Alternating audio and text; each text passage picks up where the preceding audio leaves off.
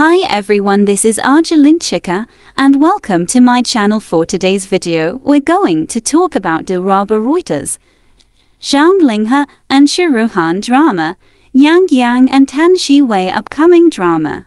Dilraba Dilmurat as Enai Luin Love in the Turquoise Land was seen very bright on her newest Reuters.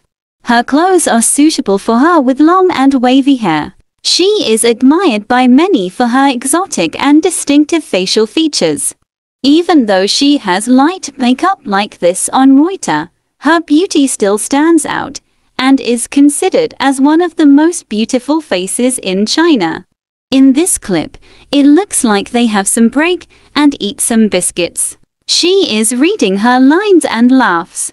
On the other hand, Zhang Linghe and Xu Ruohan are having their booting ceremony today for their upcoming drama titled The Best Thing. The Chinese title is simply Loving You.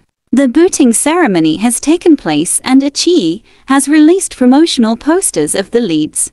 The drama is based on the novel Loving You is the Best Thing and is a coming-of-age story. The Chinese and English titles collectively are an amalgamation of the original title.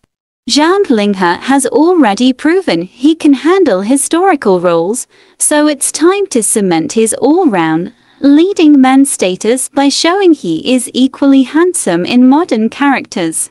Looking forward to watch their team up soon.